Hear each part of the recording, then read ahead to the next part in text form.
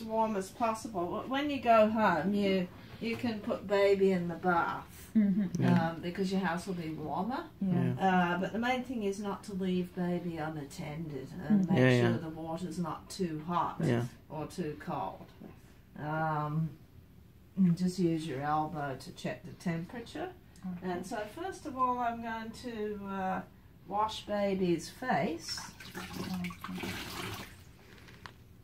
Um, we, we because we don't have a deep bath. Mm-hmm. Um, we um, we use it. We keep baby wrapped up so baby doesn't get too cold. Yeah. So you just do you do the eyes first. So you go from the inner inner corner to the outer corner, like that. Just one way.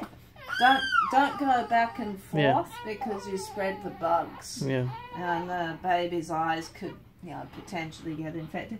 And you pick a different area of the cloth, and then you just do the other eye, just like that, just from the inside to the outside, and then and then you just go like that, and just do the face,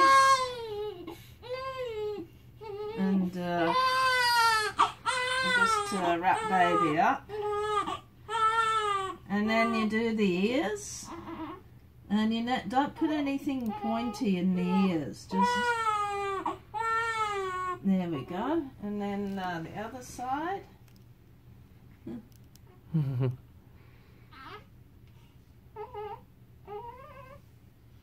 Just like that. All right. Now I'm gonna do the. I've done the face. Now I'll do the hair.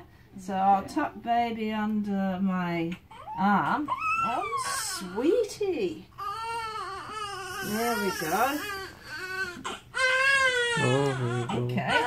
So I'm just gonna sponge the. I'll try not to get too much water in the ears. Yeah. Oh, just feeling And it. it's not. Don't use any too much perfume. Yeah. Perfume in. Um, may baby might be sensitive to perfume.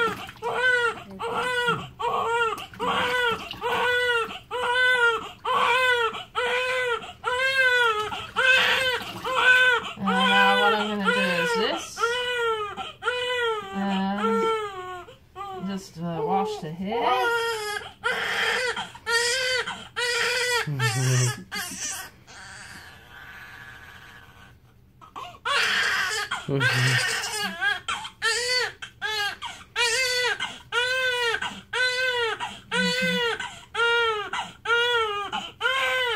Just like that.